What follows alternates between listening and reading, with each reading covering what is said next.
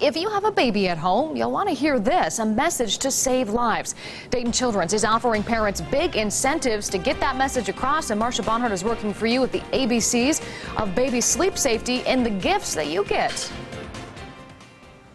Well, it's not every day that you attend a class and get gifts for doing so. If you enroll in safe sleep classes at Dayton Children's, not only will you get life-saving information, but you get the goods you need that will keep babies sleeping safely.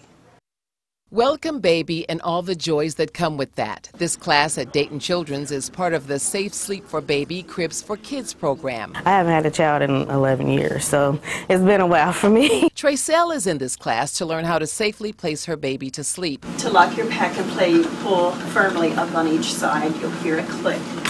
She gets to take this portable crib home once she learns the ins and outs of are doing locked, that. just Parents or any other caregiver who attend these safe sleep classes learn the dangers of cushions, pillows, bumpers, and blankets in a baby's sleeping area. That's also why they get a sleep sack to take home after completing the class. How old is she? One year now. A year old? Okay. What are your concerns and why were you here today?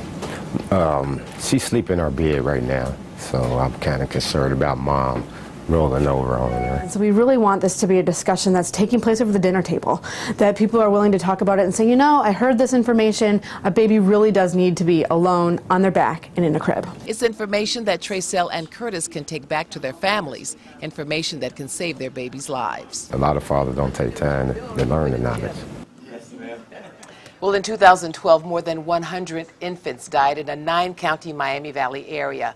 To find out how to apply to the Cribs for Kids class, go to WDTN.com. Marsha Bonhart, 2 News, working for you.